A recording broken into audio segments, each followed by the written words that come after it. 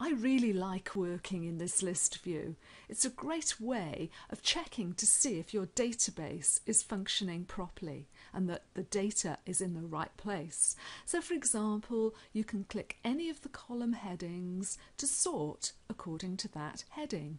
So there I've got my column city field sorted. You can see a faint triangle, which if I click it again, will reverse the sort order, either A to Z or Z to A. If I want to come over and sort the contact field, I can do so.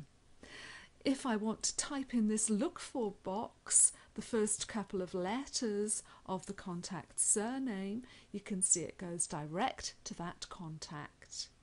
Now this view can also be customised. There's a button on the toolbar which says customise columns, click that now. All the fields in your ACT database are showing on the left hand side and on the right hand side are the ones that are displayed. I'm going to click the IS user and remove that from view. That just shows the users of the database. I'm also going to remove the private contacts from view, but I would like to see the email field displayed. I'll select it, click the top arrow to bring it onto the right hand side.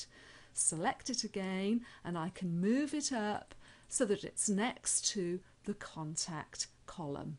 Click OK to change the view.